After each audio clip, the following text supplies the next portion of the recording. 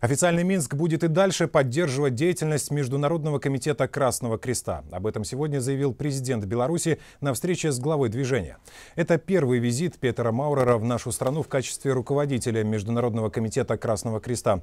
Александр Лукашенко подчеркнул значимость событий и отметил, что после сегодняшних переговоров отношения между партнерами должны подняться на более высокий уровень.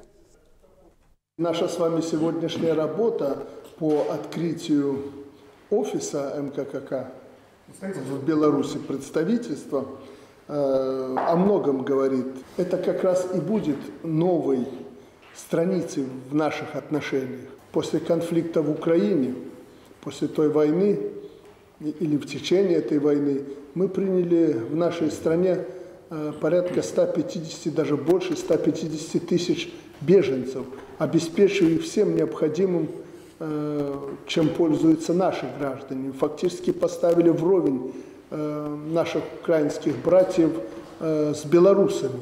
И, как вы понимаете, это все нам стоило значительных затрат, но мы их не считаем, поскольку люди попали в беду. Здесь затраты вряд ли имеют какой-либо счет. Мы никогда не были в стороне от той войны, которая сегодня Э, идет э, в Сирии.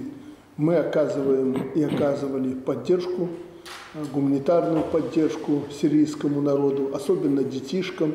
Выработали целую программу оздоровления детей в Беларуси, сирийских детей. Мы в этом направлении будем и впредь действовать.